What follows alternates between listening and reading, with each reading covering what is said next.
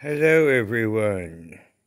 We have little tiny kitty, which I'm naming Analia because she's obviously been dropped off on me. Now, as you can see in the background, there's a firearm, my brand new one that I purchased yesterday that other YouTubers say, sure, Jan.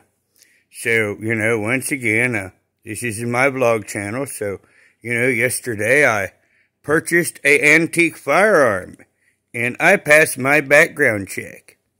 So, you know, once again, you know, a bunch of YouTubers make up stuff and lie about me and this is the new kitty and it's not Richella and someone has dropped this kitty off on me because it is more domesticated than mine. So yes, everyone, have a good day and please leave your comments below.